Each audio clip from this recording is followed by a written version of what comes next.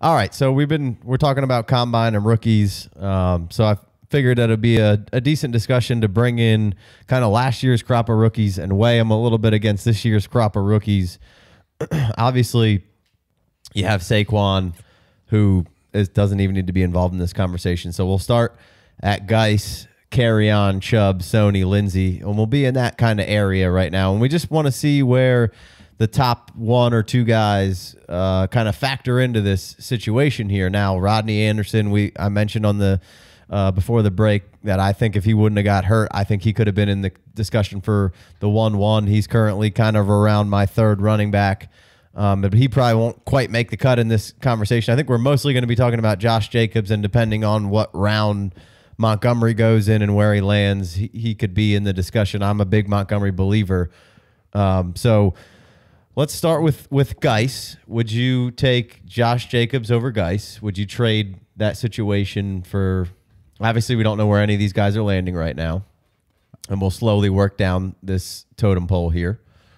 I think that's I, I know the least of, of, of- from the three of us about these guys about the new rookies, but I'll I think that's an easy I mean, pass. you, so you Yeah. got to start with a little softball here. Sure, toss up. I mean, I think it's an easy pass to to. I'm keeping Guice over anybody in this class. Right. So, Guice is, we've talked about this before, mostly on the Patreon show, that we would all pretty much trade the 1 1 for Guice. And to keep it moving here, Kerryon and Chubb, we pretty much would trade the 1 1 for those guys as well. I would. Right? Yes. Everyone's in agreement here. We're all kind of in that See, see. in that club. All right. Well, so the next kind of line of demarcation here would be, I would say, Sony Michel or Lindsay, however you feel about uh, those two players here. And this is where it starts to get interesting for me. Would you take Josh Jacobs over Sony Michel? Would you trade that pick and to get the rights to Josh Jacob right now? Obviously, we don't know where he's going to land and what's going to happen and what the pro day is even going to be like. But right now, let's just say he's the consensus kind of first running back off the board, even though I still like Montgomery more than he do, call me stupid or whatever. But I'm still I still like Montgomery more than Jacobs. Do you want Sony Michel or do you want Josh Jacobs right now? That's a that's a very strong question. Uh, I I love Sony Michel. Love the player. Love the prospect coming out of college. Before both of you guys were in camp Sony, so if this was last year, it would have been Chubb would have been the guy in Sony's position right now. That you know you, you understand what I'm saying there? Like oh, back when it was Sony yeah, and Chubb. Yeah, you got It was- it you was- guys were kind of on a little bit more on so, the Sony so side. close, but I was I was Right. calling Sony. Yeah, over- yeah, yeah, yeah, yeah. But so currently, we all agree that Sony's a notch below Chubb. yeah. I, I think you. I think first of all, obviously Kareem Hunt just went over there and create and kind of made that situation a little crazy, barring to figure Mm-hmm. out how long the suspension will be, and and maybe even if he's still in the roster, how they decide to play that. Um, but you know, Baker and Chubb were a, a nice little duo over there. Baker was getting things done offensively, moving the ball around, and Chubb was making those explosive, explosive plays. And not that Sony couldn't have, but he really didn't break off too many big ones. And when Chubb Chubb's got a 90 yarder and a 60 yarder and a couple of 40s, those those are huge runs and huge like piling points on top of points. Right. And the every time the Patriots decided when Sony was healthy and the Patriots it was a Sony game, he crushed. 100 and a t- 100 and a touch or more every single time. Right. It he really didn't give you too many of those you know bad games unless it was in and out on that ankle injury or what have you. So uh, Sony's Sony did Sony's not getting enough love.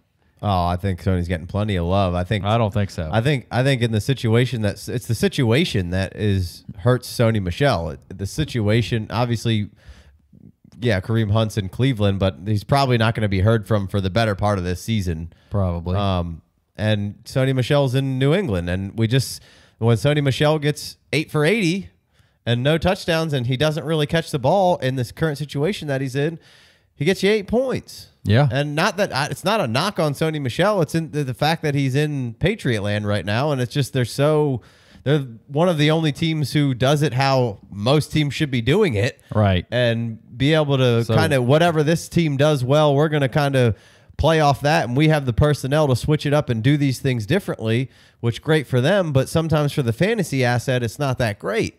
And and then on top of that, you have Tommy, who you don't know when. Obviously, he's not the dominant Tom Brady that maybe he once was, but he's still better than smarter. Again, he can switch it up regardless of what's going on. Exactly.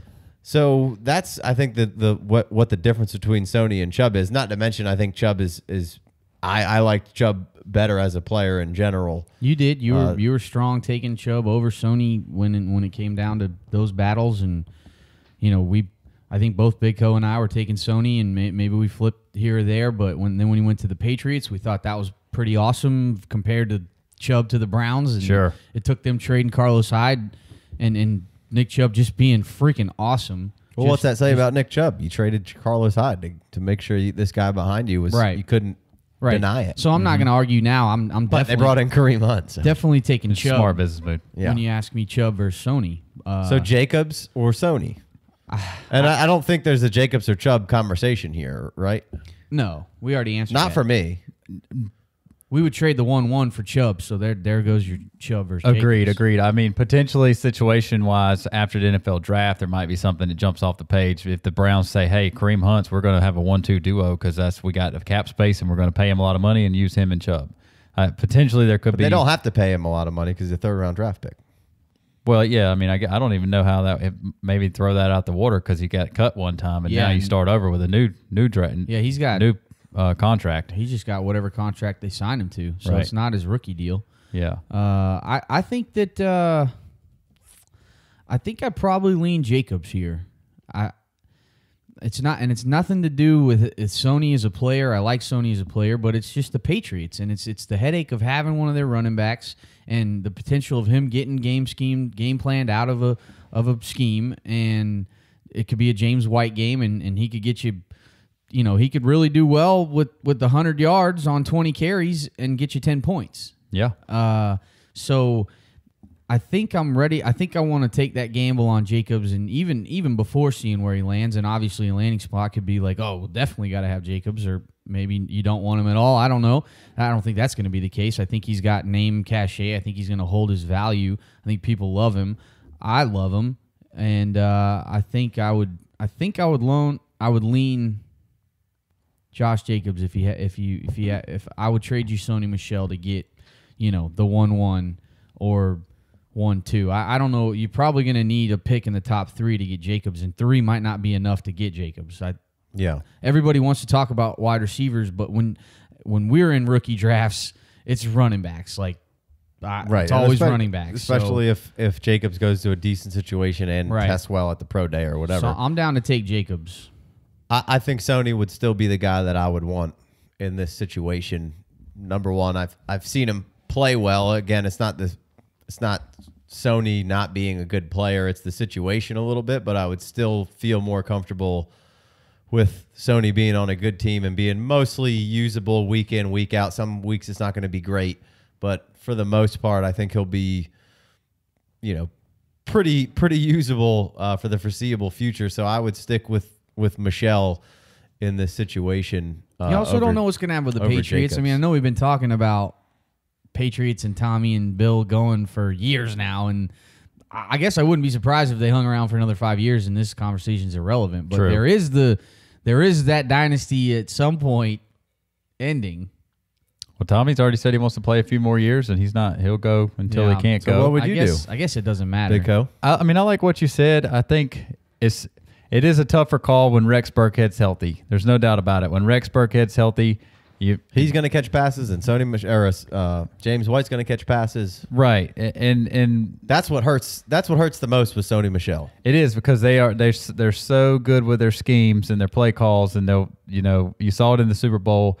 All week long, we heard about the potential for James White to crush against that defensive line because they didn't really play run defense and this and that, and you know the check downs to James White were, was going to be just off the charts. And then the Patriots' first drive, James White's nowhere to be seen, and it's Rex Burkhead. Mm-hmm. And and the two games before that, when they dominated the Chargers and the Chiefs, they pounded you with Sony Michel. Like you know, it's it's the flip. It's the flips Right. of the switch. They they got this switch that they can flip, and they're going this way or they're going that way. Just like Jay said, it is the headache of the Patriots.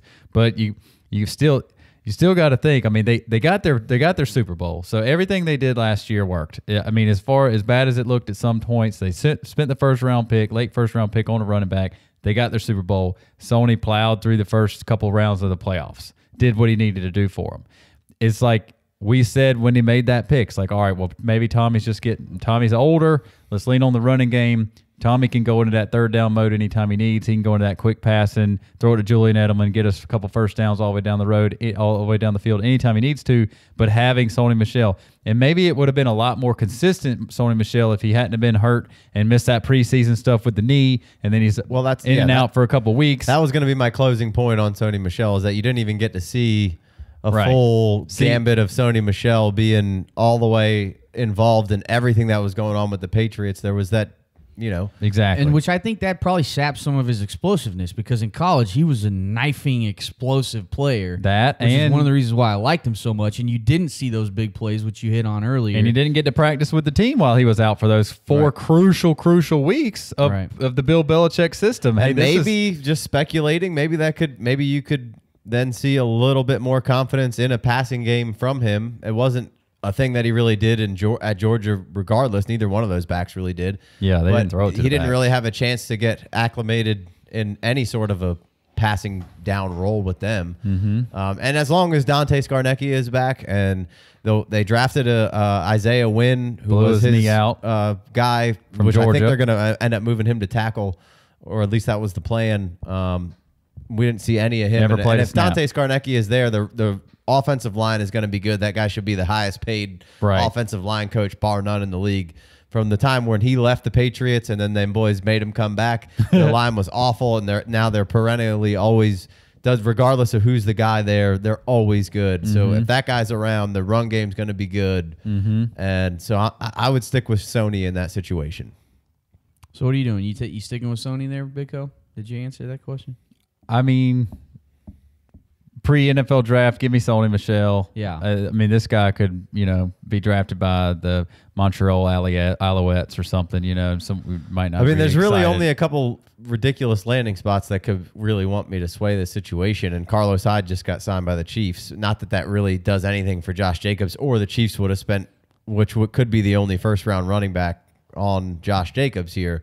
Um, but I mean, maybe like the Saints could be losing Mark Ingram, and maybe they get Josh Jacobs, and then it's like, oh well, Well, yeah, mm-hmm. sure, I would trade this pick, or maybe he goes to the Bears, and now Yeah. I'm excited. But Yeah. you know, there's only a couple of really huge destinations that I would be really, really excited with. But for the most part, I'm going to stick with Sony and a, and a good franchise. Um, not that I absolutely love Sony in the situation, but uh, At any, any given week, he's got three touchdowns. Right. They're going to get to the goal line more often, as often as anybody in the league. Maybe, maybe nowadays you got you're looking at the Rams and those types of guys and the Chiefs that are getting there a little bit more often than the Tommy Brady led Patriots. But for the last 15 years, they've gotten the most inside the five rushing attempts for running backs. Yeah. So you can probably probably count on and some, some you know more Rex gets back in there, and some of those might maybe get vultured a little bit. And you got Develin who vultured plenty of Sony Michel touchdowns at, at points during when he was there.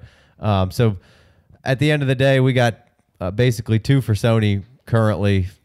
Big Co seemed a little bit more on the fence than I, and Jay Wayne's going uh, I'll take the- Jacobs I'll over take Sony. the gamble. taking Let's- the taking the you got the fever, yeah.